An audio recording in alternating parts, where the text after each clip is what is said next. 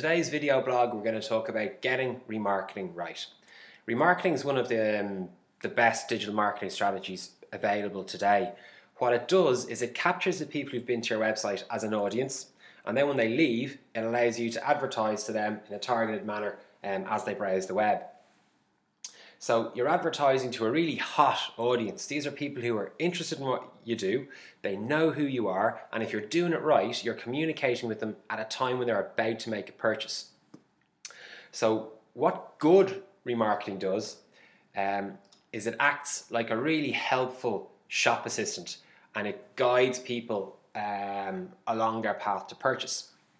What bad remarketing does is it pesters people, it pollutes their online experience, and it will damage your brand in their eyes.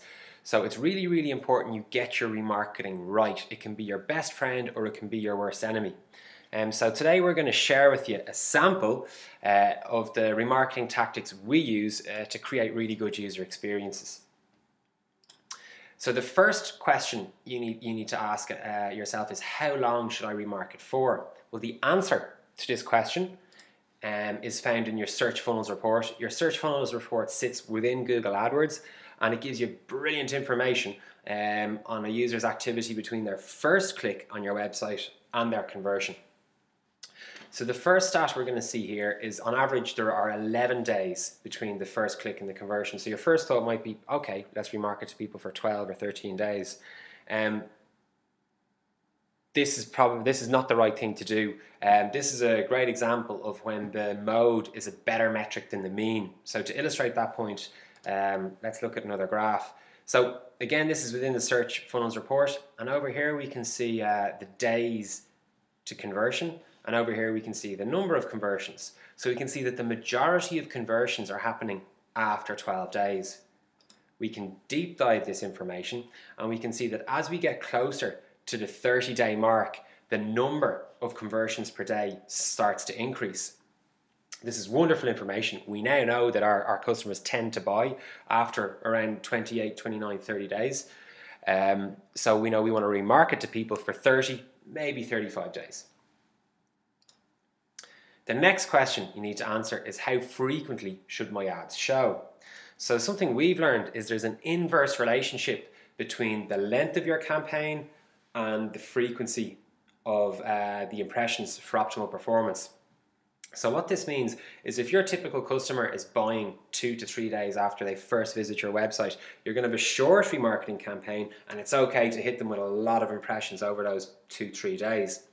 However, if you have a longer remarketing campaign, such as the one we've just seen, um, you need to be a lot more polite in how you communicate with people. So I wouldn't be uh, advertise showing people more than three ads a day. I'd cap the impressions at three.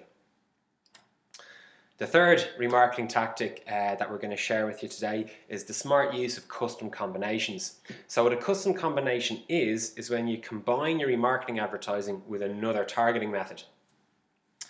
So let's use an example. Let's use a golf equipment retailer who's remarketing. So if they're just remarketing on its own, um, this is an example of what someone who's been to their website might see. So someone's been to the website um, after they're on the Guardian, um, they're reading an article about stocks and shares, um, and they see uh, an ad for the golf equipment here. So although we are targeting to an interested person, at this particular moment in time, that person's thinking about their pension or maybe their share portfolio.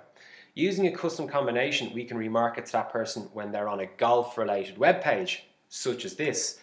So check this out all of a sudden now it's the same person, they're on the same website, it might only be 90 seconds later, but now um, we're advertising to a person who's reading about golf, they're thinking about watching golf, they might be thinking about playing golf, and if we can reach out to them with our golf equipment message, there's a very high chance that person is going to come back to our website and make a purchase.